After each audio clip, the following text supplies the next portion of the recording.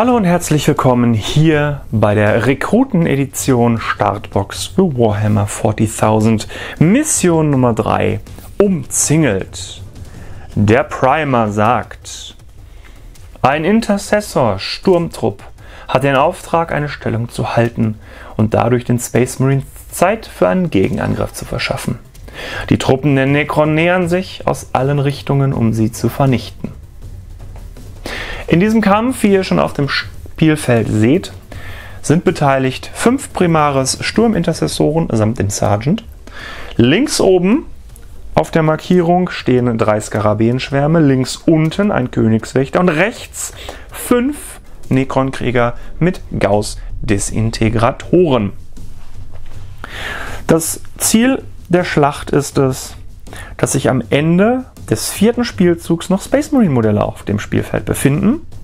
Und die Aspekte, die hier beleuchtet werden, sind die Sichtbarkeit, also Sichtlinien, die durch den Boden der Packung, hier als Gebäude dargestellt, auch blockiert werden können. Dieses implementiert auch direkt vertikale Bewegung, da diese Bewegung hier jetzt mitgerechnet wird. 2 Zoll. Gerundet. Es wird nochmal genauer darauf geachtet, es gibt einen Durchschlagswert, es gibt einen Schadenswert und dass Pistolen in Nahkämpfe schießen können. Dieses ist dann hier auf jeden Fall gegeben, nicht wie in der Mission vorher als mögliche Regel. Das Spiel beginnt mit den Space Marines und hier als ganz, ganz wichtige Kondition, die Space Marines verteidigen diese Stellung und dürfen deshalb nicht das Dach des Archeodepots verlassen. Also die erste Möglichkeit in der Bewegungsphase der Space Marines, die einen Bewegungswert von 6 haben, sich an eine Kante zu bewegen und dort mit ihren Pistolen runterzuschießen und dem Gegner die Möglichkeit zu nehmen, hochzukommen. Also kümmern wir uns mal um diese Ecke hier. Die Space Marines bewegen sich an die Kante. 2 Zoll, 4 Zoll, das sind ganze 6 Zoll. Der bewegt sich hier in die Ecke 5 Zoll und der hier hinten 6 Zoll. Alle Modelle stehen innerhalb von 2 Zoll um ein befreundetes Modell dieser Einheit, also sind sie auch in Trupp-Formation. Und nun in der Fernkampfphase schießt dieser Trupp hier runter auf die Necron-Krieger. Es sind vier Intercessoren mit schweren Boltpistolen und einer mit einer Plasmapistole. Alle schießen da rein. Erstmal hier in der Hand die vier Würfel für die Boltpistolen. Wir haben eine Entfernung von 7 Zoll. Das passt. BF 3 Plus. Einer trifft. Boltpistole, Stärke 4, Widerstand 4 des Kriegers, keine Wunde. Die Plasmapistole hat die Besonderheit, dass sie zwei Profile hat. Einmal die Standardprofil und das überladene Profil. Das überladene Profil ist eine Stärke mehr, einen Schadenswert mehr, aber wenn ich eine 1 würfel beim Treffen, wird sofort das Modell mit dieser Waffe ausgeschaltet. Ich will den Sergeant nicht riskieren, also schieße ich mit der Standardfunktion der Plasmapistole, treffe auf die 3 Plus. Tut er. Habe eine Stärke von 7. Der Necron-Krieger hat einen Widerstand von 4. Ich bin besser. Auf die 3 Plus verwunde ich. Tut er. Die Plasmapistole hat einen Durchschlag von 4, äh, von 3 Plus. Der Necron-Krieger hatte eine Rüstung von 4. Dann wird aus der 4 eine 5, eine 6, eine 7. Eine 7 kann nicht gewürfelt werden auf einem W6, also geht ein Necron-Krieger jetzt zu Boden. Das war die Fernkampfphase. Eine Angriffsphase kann es nicht geben, weil ich das Dach nicht verlassen darf. Und deshalb gibt es jetzt die Bewegungsphase der Necron. Die Necron starten hinten in der Ecke mit den Skarabäenschwärmen. Diese brauchen bis zur Ecke des Gebäudes 6 Zoll. 2 Zoll nach oben und schaffen es dann an der Ecke hier noch 4 Zoll zu laufen. Also der Schwarm kommt bis dort. Der nächste Schwarm kommt bis zum Gebäude 7 Zoll, 2 hoch 9 und kann dann noch 1 Zoll reinlaufen. Also steht gerade eben hier drauf. Der Schwarm 7, 2 ist genauso, kommt also auch bis gerade dort hoch. Der Königswächter die neue Einheit, links unten jetzt hier eingeführt wurde, hat eine Bewegung von 5. Bewegt sich hier über diese Flanke um die Sichtlinie hier hoch zu behalten. Bewegt er sich hier, kann sie vielleicht durch das Gelände dort verdeckt werden. Die Necron-Krieger hier unten positionieren sich besser, um das Feuergefecht mit den Space Marines aufzunehmen und bleiben da so stehen. Nun ist die Fernkampfphase der Necron dran. Ich starte mit dem Königswächter. Er hat einen Reliquien Gauss Blaster, 24 Zoll Reichweite. Sein Ziel ist 13 Zoll entfernt. Schnellfeuer 2 heißt 2 Schuss, aber leider keine Doppelung, weil nicht in der halben Reichweite. Er trifft auf die 3 Plus, diesen Trupp, trifft er einmal. Der Gauss Blaster hat eine Stärke von 5. Sturmintercessoren einen Widerstand von 4, also besser auf die 3 Plus. Verwundet. Ein Durchschlag von 2 Plus. Das heißt, der Rüstungswert von 3 Plus der Sturmintercessoren wird auf die 5 reduziert. Schaffen sie nicht. Und der Gauss Blaster hat einen Schadenswert von 2. Das heißt, sofort zwei Lebenspunkte. Ein Sturmintercessor geht zu Boden. Nehme ich mir mal ähm, den hier hinten. Auch einfach nur aus optischen Gründen. Das heißt, der Königswächter schafft es schon, einen Intercessor zu erschießen. Die vier verbleibenden Necron-Krieger schießen auch hier rein. Jeder von denen hat einen Schuss, bzw. Schnellfeuer 1, macht insgesamt 8 Schuss, 3 plus Treffen, weil sie sehen sie an der Kante. Stärke 4, Widerstand 4, 4 in Verwunden, einer. Und eine Rüstung von 4 plus, weil der Durchschlag der Waffe dazu kommt. Ein Lebenspunkt. So, das war der Fernkampf. In der Angriffsphase sagen die Skarabäenschwärme einen Angriff auf die Space Marines an. Bis da sind es 6,8 Zoll. Also mit einer gewürfelten 6 würde ich rankommen. Das hier ist eine gewürfelte 4. Der Angriff ist verpatzt und damit bleiben die Skarabäenschwärme dort, wo sie sind. Einen Nahkampf gibt es dadurch nicht. Und dann kommen wir jetzt in die zweite Runde der Space Marines nach der Werbung. Kurz zur Werbe- und Gewinnspielsektion dieses Videos. Ihr wollt die Rekrutenbox mit den bemalten Modellen daraus gewinnen oder ihr wollt die Elite-Box gewinnen? Dann befolgt ihr folgende Schritte. Bei jedem Video der Miniserie, inklusive der Tutorials, tippt ihr in die Kommentarsektion für die Rekrutenbox Rekrut oder für die Elitebox Elite und ihr gebt einen Daumen hoch bei dem Video. Mehr braucht ihr nicht. Und dann könnt ihr diese Boxen eine Woche nachdem das letzte Video der Miniserie online gegangen ist, gewinnen. Die Rekrutenbox habe ich mir selbst gekauft. Die Elite-Box wurde freundlicherweise zur Verfügung gestellt vom Taschengeld-Dieb. Deshalb dort unten dieses Supported by Logo, was ihr euch wahrscheinlich schon gedacht habt. Also, tippt in die Kommentarsektion für die Rekrutenbox Rekrut für die Elitebox Elite und schaut beim Taschengelddieb vorbei. Und jetzt zurück zum Video. Die Space Marines haben jetzt das Problem, dass sie von allen Seiten behagt werden. Die Space Marines werden sich ein Stück nach hinten bewegen, 2 Zoll, so dass sie immer noch eine Sichtlinie zu den Kriegern da unten haben, aber näher an den Schwärmen dran sind. In der Fernkampfphase werden sie das Feuer eröffnen mit den Boltpistolen in die Krieger und der Sergeant schießt seine Plasmapistole in den Königswächter. Die Schüsse der drei Boltpistolen in die Krieger, 3 plus trifft, 4 plus wundet, einer und Rüstung ist 4 plus. Ja, safe.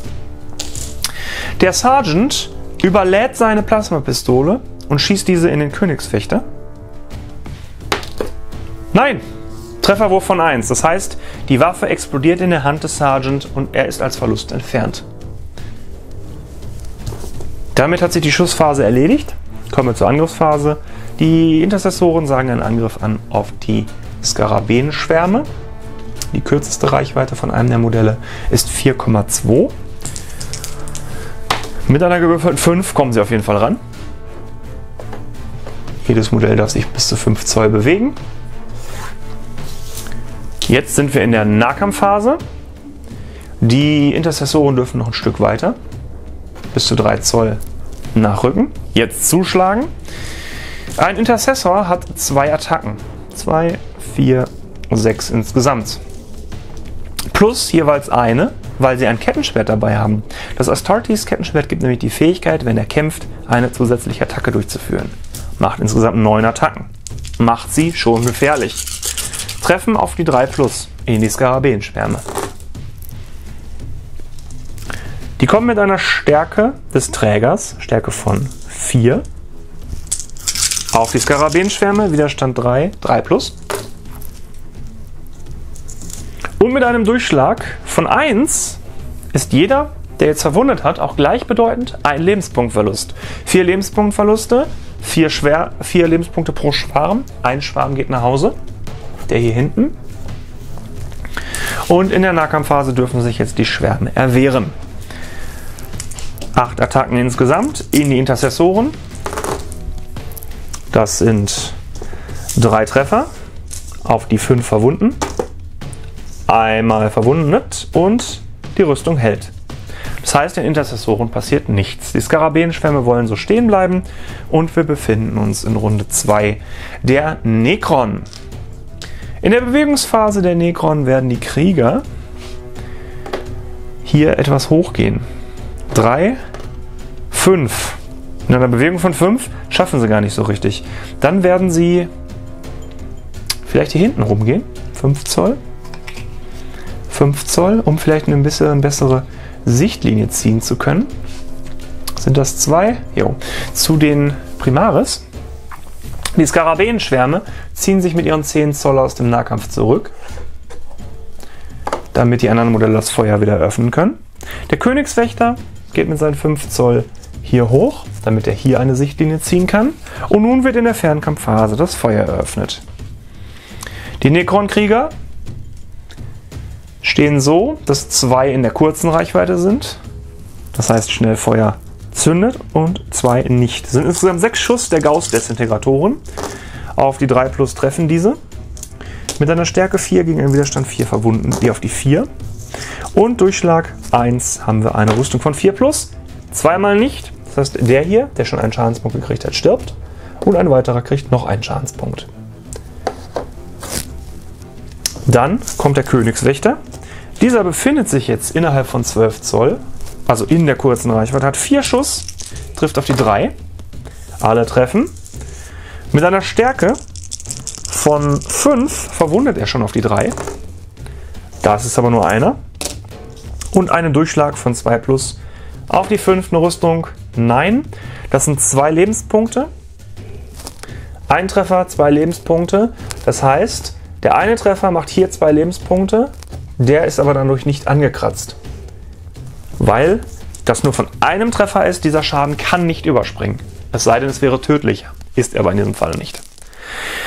Damit ist der Fernkampf abgehandelt. Die Skarabäenschwärme können nicht nochmal angreifen, weil sie sich zurückgezogen haben. Sie haben keine Regel, die das besagt. Also ist der Space Marine jetzt wieder dran. Bewegt sich. Äh, nee. Bewegt sich 2, 4, 6 schießt mit seiner Boltpistole auf den Königswächter, trifft ihn. Stärke ist 4, Widerstand ist 5, verwundet ihn nicht. Greift ihn jetzt an. Mit einer 4 kommt er ran, um blutige Rache zu nehmen. Und attackiert jetzt den Königswächter in der Nahkampfphase. Alle drei treffen mit einer Stärke von 4 gegen einen Widerstand von 5 auf die 5 plus. Einmal verwundet, die Rüstung des Königswächters ist 3 plus, minus 1 durch den Durchschlag. Ist gehalten. Der Königswächter darf jetzt zurückschlagen. Er hat insgesamt drei Attacken. Er hat keine Nahkampfwaffe hier angegeben, also geht man davon aus, dass er eine ganz normale Attacke hat. Auf die KG 3 plus. Trifft zweimal. Mit einer Stärke des Trägers 5. Zweimal verwundet. Kein Durchschlag, Rüstung 3 plus. Safe. Die Necron dürfen auch noch einmal. Und zwar werden jetzt die Necron-Krieger vorrücken. Fünf, das sind 10 Zoll insgesamt. Die wollen aufschließen zu ihrem Anführer. Die Schwärme schwärmen hier runter. Der Königswächter bleibt da stehen. Der könnte sich jetzt rausziehen aus dem Nahkampf, will er aber gar nicht.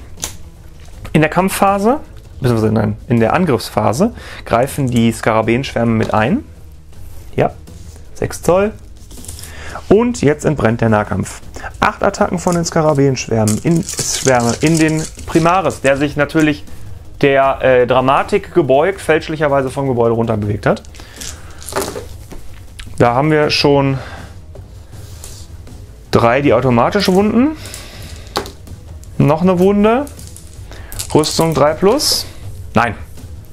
Der Primaris fällt zu Boden und die Necron haben hier gewonnen. Das heißt, ein Unentschieden, ein Sieg für Necron, ein Sieg für die Space Marines. Ja, ich weiß, ich habe die Regeln ein wenig missachtet und habe den Primaris runtergeschickt, aber sonst wäre er einfach ganz, ganz ähm, unspannend oben einfach zerschossen worden, weil die Necrons sich bestimmt nicht mehr nach oben bewegt hätten. So hatte er wenigstens noch seinen gloriosen Moment.